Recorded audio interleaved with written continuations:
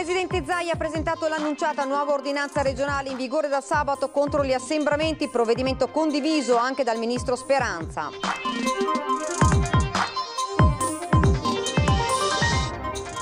A un anno esatto dall'acqua alta che ha devastato Venezia ripercorriamo le tragiche ore di quella notte e dei giorni seguenti con immagini che il mondo intero non dimenticherà mai.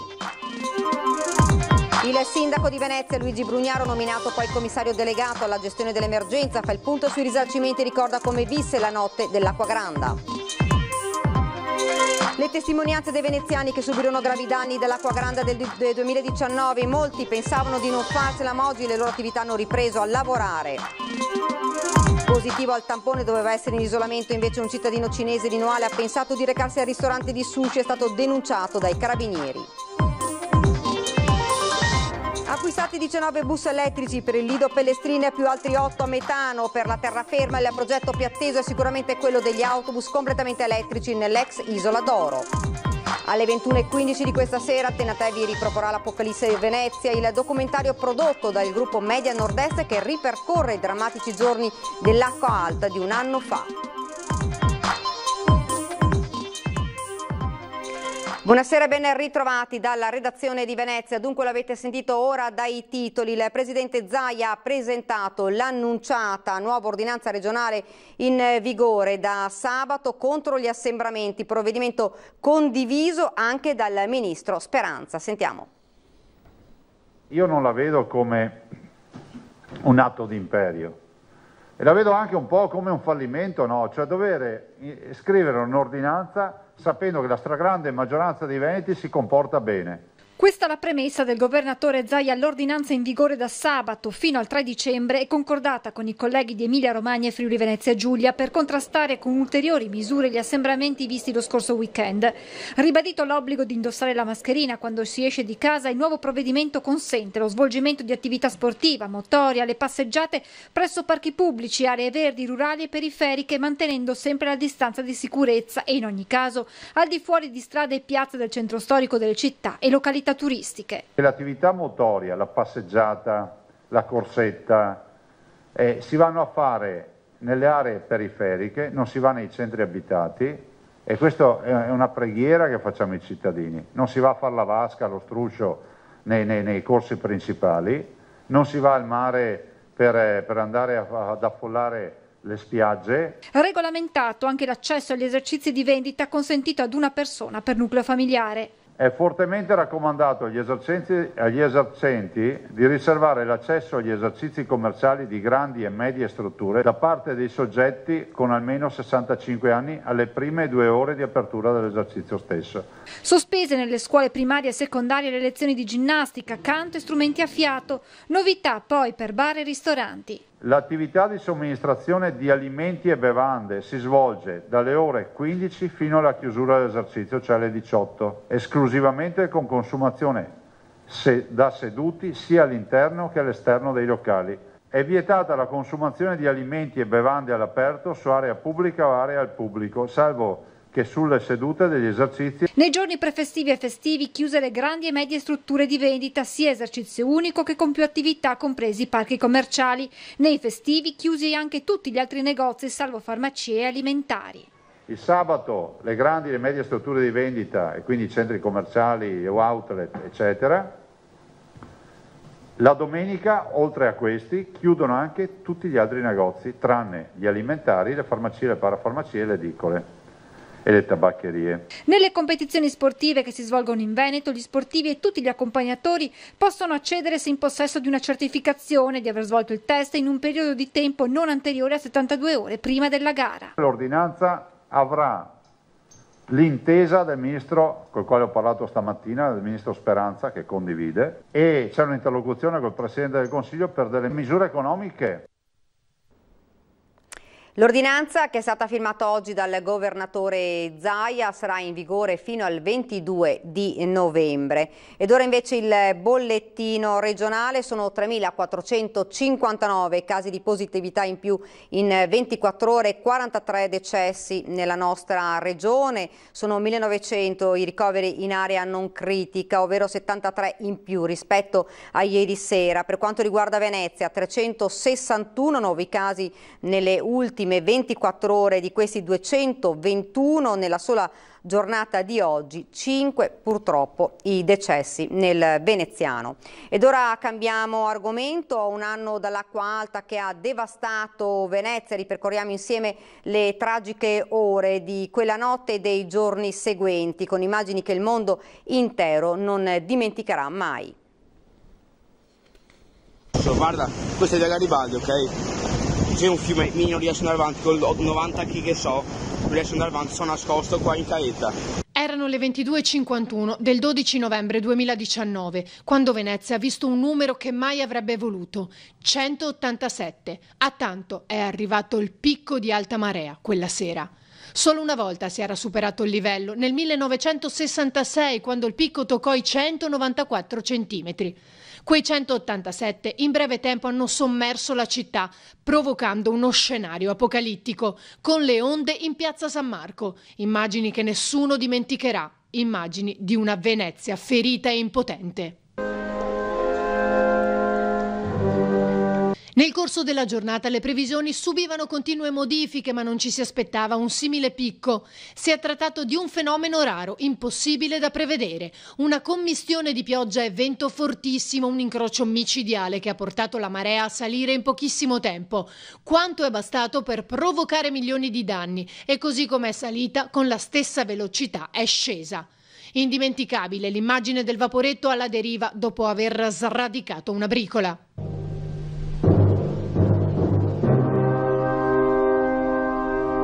Il mattino seguente la città si sveglia incredula e oltre ai danni si conta già una vittima a Pellestrina. Giannino Scarpa è rimasto fulminato cercando di ricollegare i cavi elettrici perché l'isola era rimasta al buio. Nella cripta della Basilica di San Marco nel momento del picco massimo si misurava dalla pavimentazione quasi un metro e dieci di acqua. Quel giorno tutti si sono mobilitati, il sindaco Brugnaro, il presidente Zaia che ha attivato l'unità di crisi alla protezione civile e gran parte della politica nazionale. Il premier Conte è arrivato insieme al ministro De Micheli promettendo che il Mose sarebbe stato azionato quanto prima. Ma quella marea non fu l'unica. Nei giorni seguenti Venezia venne colpita ancora. Mai si erano registrate quattro maree superiori ai 140 centimetri in una settimana ma questo non ha piegato la città né i veneziani. Tra chi ha vissuto in prima persona il disastro dell'alta marea eccezionale del novembre del 2019, il sindaco di Venezia Luigi Brugnaro, nominato poi commissario delegato alla gestione dell'emergenza.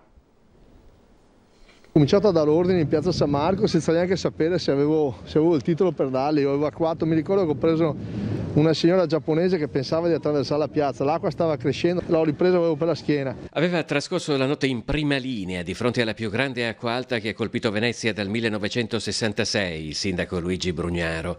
Quel 12 novembre è anche per lui un ricordo indelebile fatto di tante storie individuali e collettive. Ho in mente delle scene incredibili di ragazzi che sistemavano i libri, di volontari da ogni dove telefonate dei sindaci, delle istituzioni, sono venuti tutti, maggioranza, opposizione. È stata una comunità prima locale, regionale e anche nazionale che si è mossa. Chissà che non perdiamo quella memoria di cosa vuol dire fare le cose assieme, senza nessuna polemica, ringraziandoci e tirandoci su a vicenda. Alla protezione civile a Marghera, la qualta eccezionale di un anno fa è stata ricordata anche dal presidente Zaia, che un fenomeno di quelle dimensioni, ha detto, non avrebbe mai pensato di vederlo. Adesso sembra che il Mose ci metta, ci, ci metta in, uh, in, salvaguardia, in protezione, questo, questo, è già una buona notizia, visti tutti i soldi che sono stati investiti su Mose e su opere complementari, si parla di quasi 9 miliardi di euro tra Mose e il resto delle opere. E sarà un ricordo indelebile, probabilmente non la vedremo mai più, perché se Mose funziona è stata l'ultima acqua grande che Venezia ha conosciuto. Il capitolo risarcimenti è stato per il sindaco Luigi Brugnaro un esempio di efficienza burocratica statale e comunale attraverso un processo di informatizzazione che farà scuola in Italia, ma alcuni capitoli sono rimasti aperti. Sono arrivati gli aiuti che noi per legge possiamo dare, cioè fino ai 20.000 euro per le imprese e fino ai 5.000 euro per i privati. Sui danni, quelli superiori ai 20.000 euro, cioè i danni importanti, lì la legge non consente un recupero immediato tramite il commissario o tramite il comune, lì deve essere un'apposita determina fatta dal Consiglio dei Ministri con una legge speciale e su questo sì, eh, immagino che saranno tempi ancora lunghi, l'avevamo previsto fin dall'inizio.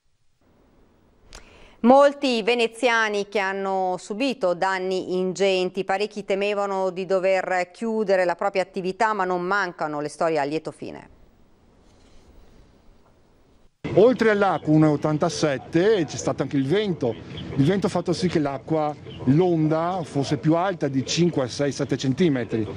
Provarsi, immaginarci con venti di 110 km orari che tiravano qua in centro storico. C'è stato un ciclone. 8 dicembre 2019. Grazie ai vigili del fuoco, l'edicola di Walter Mutti riemerge dalla laguna dopo tre settimane trascorse sul fondale del canale della Giudecca. Oggi, quella che è stata tra i simboli della forza distruttrice dell'acqua alta del 12 novembre scorso, capace di spostare una struttura di quasi 15 quintali, è tornata al suo posto davanti alla chiesa dei Gesuati alle Zattere. Queste edicole sono state progettate appositamente per l'acqua alta, a tenuta stagna. Che significa tenuta stagna? Che l'acqua dopo un certo livello fa sì che l'edicola si alzi e venga portata via. Quando è stato fatto il lavoro di ripristino del, della, della, della pavimentazione. Non hanno voluto il riancoraggio. I risarcimenti? I risarcimenti. Allora, per quanto riguarda la lettera C, i danni fino a 20.000 euro, eh, io personalmente sono stato risarcito. E adesso aspettiamo, fiduciosi, i danni oltre i 20.000 euro. In Calle della Mandola, vicino a Campo Sant'Angelo, c'è la libreria di Alberto Bertoni. Dopo l'acqua alta di un anno fa, ha pensato seriamente che l'attività di famiglia si fermasse con lui. Quanti libri aveva perso? Allora, ho perso circa 28.000 volumi. E come ha fatto a tirarsi su? L'attività ha cominciato a lavorare e molti poi, molte associazioni, persone mi hanno dato anche una mano eh, regalando qualche, qualche volume e sono riuscito a, a riprendervi. Dopo il ripescaggio dell'edicola, un amico di Walter Mutti aveva promosso una sottoscrizione di fondi per restaurarla. Un'altra raccolta di denaro organizzata a Ceggia aveva destinato una parte del ricavato alla libreria di Alberto Bertoni, che a sua volta l'aveva girata ad un'altra libreria più in difficoltà della sua, così come lo scrittore veneziano Andrea Zanetti aveva donato parte dei ricavi dei suoi libri alle librerie della città. Ha ricevuto tutti i risarcimenti. Beh, diciamo, quelli del comune sono stati ricevuti tutti e poi anche grazie alla SEAI ci hanno dato qualche cosa e no, tutto sommato devo dire che, che ce l'abbiamo fatta.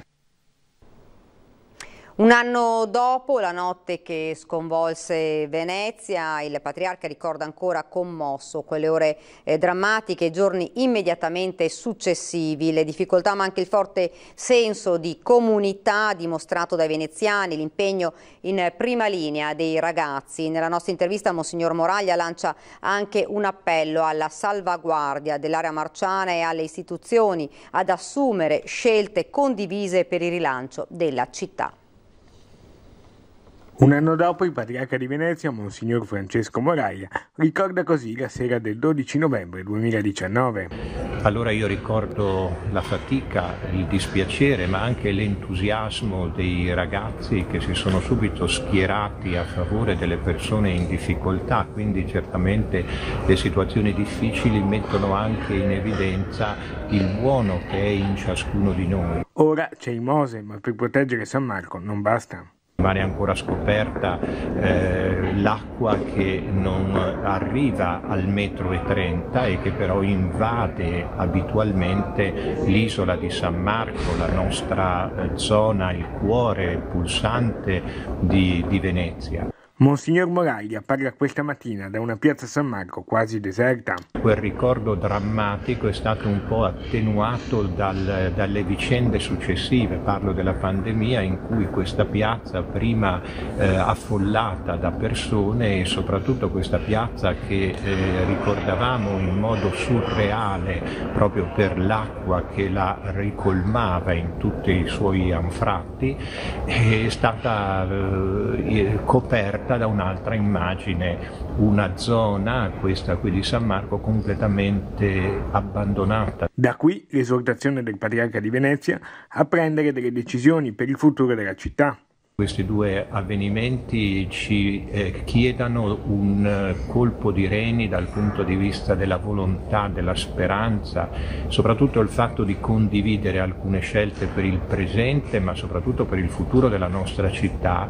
Dobbiamo eh, viverla come veneziani, dobbiamo sapere che è una risorsa per il mondo, dobbiamo soprattutto combattere contro quella erosione del, del clima ma nello stesso tempo dobbiamo anche cercare una vocazione futura per la nostra città, un turismo che quindi deve essere più sostenibile, più mirato, forse più di qualità.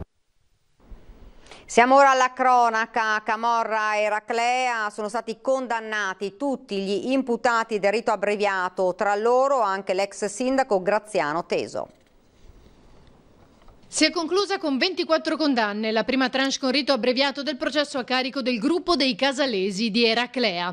Riconosciuto integralmente l'impianto accusatorio e inflitto un totale di oltre 130 anni di reclusione a carico degli imputati. Tra loro l'imprenditore sandonatese Cristian Sgnaolin, condannato a 5 anni e 10 mesi, Girolamo Arena 6 anni, Antonio Basile 12 anni e Antonio Puoti 6 anni e 6 mesi. Condanna anche per l'ex sindaco ed ex vice sindaco di Eraclea, Graziano Teso, tre anni e tre mesi per concorso esterno in associazione mafiosa. All'avvocato Marin, accusata di favoreggiamento al boss Donadio, otto mesi pena sospesa e poi cinque anni per Moreno Pasquale, il poliziotto che avrebbe fornito informazioni riservate al clan. Le indagini avevano portato alla luce nel febbraio 2019 un sistema di malaffare diffuso e di legami tra esponenti della Camorra originari della Campania, imprenditori e politici di Eraclea. Fu arrestato anche il sindaco Mirko Mestre, oltre che bancari, professionisti e rappresentanti delle forze dell'ordine. Per circa vent'anni il clan aveva gestito i propri affari nella zona. Slitta al 2021 la sentenza del processo per la strage della Solfatara che vede alla sbarra il legale rappresentante altri cinque soci e la società che gestiva il noto sito naturalistico di Pozzuoli dove il 12 settembre del 2017 i coniugi veneziani di Meolo, Massimiliano Carrer e Tiziana Zaramella e loro figlio Lorenzo durante una visita persero eh, tragicamente la vita.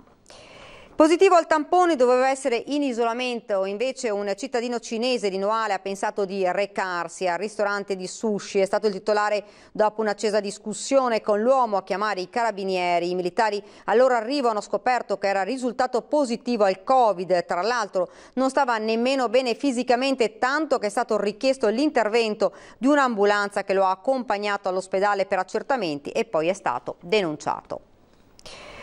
Acquistati a Venezia 19 bus elettrici per il Lido di Pellestrina, più altri 8 a metano per la terraferma. Il progetto più atteso è sicuramente quello degli autobus tutti elettrici nell'ex Isola d'Oro. 15 milioni di euro sono solo l'ultimo stralcio dell'impegno del Comune di Venezia per migliorare il trasporto pubblico urbano di linea con nuovi autobus che entreranno presto in servizio a Mestre, Lido e Pellestrina. Due le delibere approvate, su proposta dell'assessore comunale alla mobilità Renato Boraso, per l'acquisto di 19 nuovi autobus elettrici per l'Ide Pellestrina, che portano così il totale a 30 dell'intero parco mezzi completamente elettrico per le due isole, e altri 8 bus a metano per la terraferma. La svolta più attesa è sicuramente quella degli autobus elettrici. È il primo sistema in Italia in linea, quindi durante il servizio eh, dei bus eh, questi si agganciano a dei totem e ricaricano parte della batteria. Le sottostazioni elettriche sono già installate, così come i totem di ricarica, si sta ultimando la dotazione impiantistica e si prevede la fine lavori entro fine anno.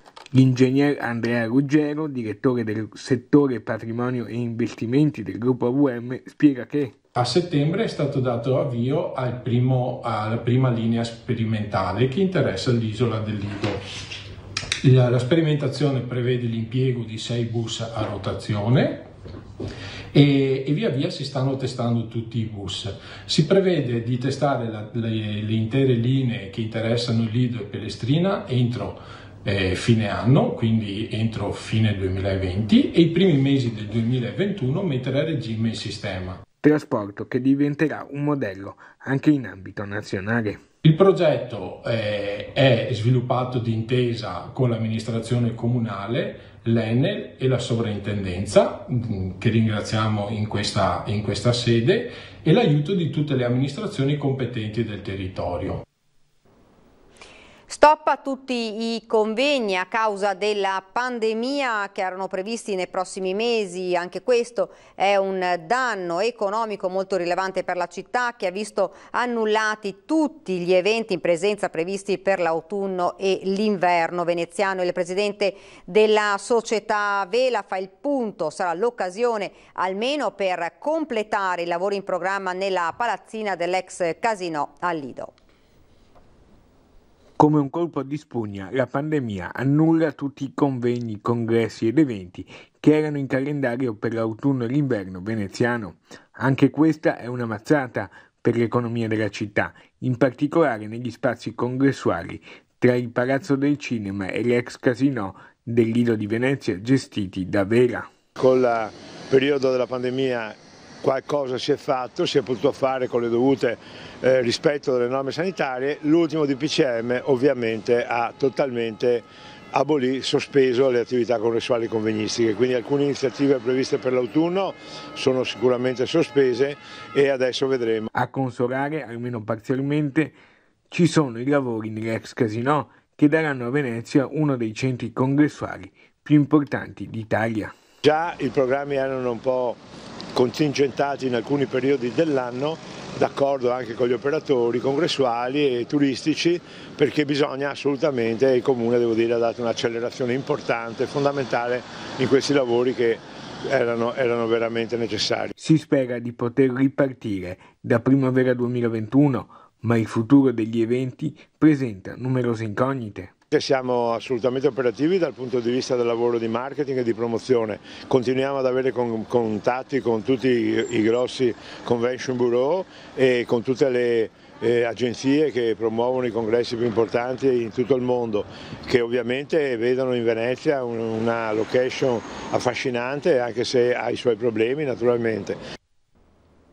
E lo avete sentito nel corso di questa edizione del nostro telegiornale, un anno fa la devastante acqua alta che ha messo in ginocchio Venezia e colpito l'intera costa. Alle 21.15 questa sera su Antenna 3 eh, vi, eh, si riproporrà l'Apocalisse a Venezia, il documentario prodotto dal gruppo Media Nord-Est che ripercorre quei drammatici giorni. E questa era la nostra ultima notizia, io vi lascio come di consueto alle nostre previsioni del tempo, grazie davvero per averci seguito, buona serata.